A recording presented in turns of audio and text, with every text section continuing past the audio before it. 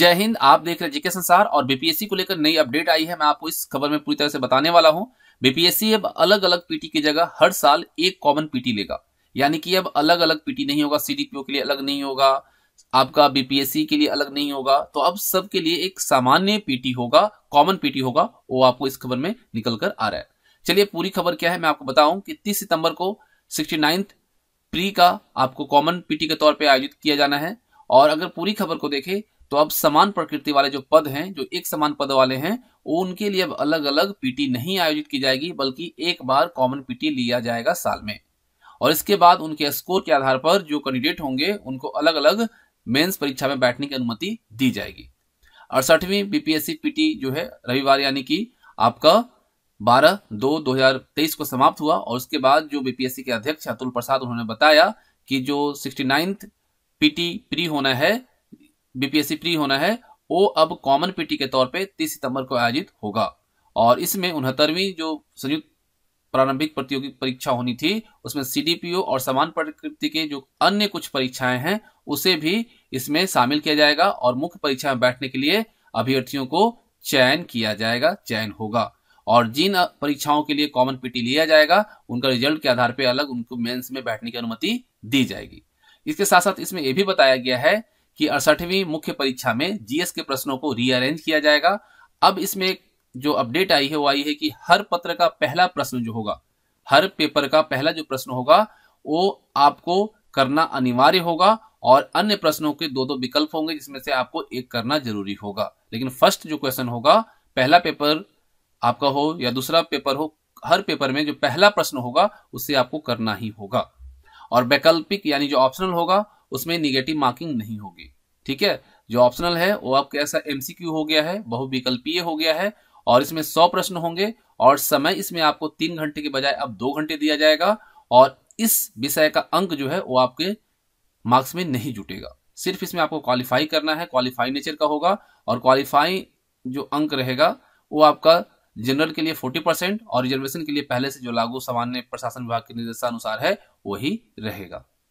इसमें एक बड़ी खबर निकल कर ये भी आई है कि आपको अभ्यर्थियों को सेंटर चुनने का विकल्प इसमें दिया जाएगा। पहले क्या होता था कि अपने अकॉर्डिंग बीपीएससी जो है सेंटर भेजती थी, लेकिन अब इस बार सिक्सटी जो कॉमन पीटी होगी, उसमें सेंटर चुनने का भी विकल्प विद्यार्थियों को मिलेगा, कैंडिडेट को मिलेगा। अब तक महिला और दिव्यांग अभ्यर्थी जो होते थे, उन्हीं को सेंटर उनके अपने शहर या ज़िले में देने का प्रयास किया जाता था, लेकिन अब सभी अभ्यर्थियों को यह सुविधा देने का प्रयास किया जाएगा। लेकिन इसमें यह बताया गया है कि कोई ज़रूरी नहीं है कि सबको दिए गए विकल्प का शहर ही मिल जाए, क्योंकि यह सेंटर की उपलब्धता पर निर्भर करेगा और ये सही भी है कि ज़रूरी नहीं है कि अगर मान लीजिए कि सबको हमको पटना ही चाहिए तो पटना सबको ना मिल पाएगा, क्योंकि वहाँ पे जितने सीट्स हैं, एग्जामिनेशन सेंटर जो है, उससे अगर ज़्यादा होंगे तो उनको आसपास के क्षेत्र में भेजा जा सकता है, नियर शहर में भेजा जा सकता है। और ये भी कहा गया है कि उनके विकल्प वाले शहर या आसपास के सेंटर ही उन्हें दिए जाएँगे।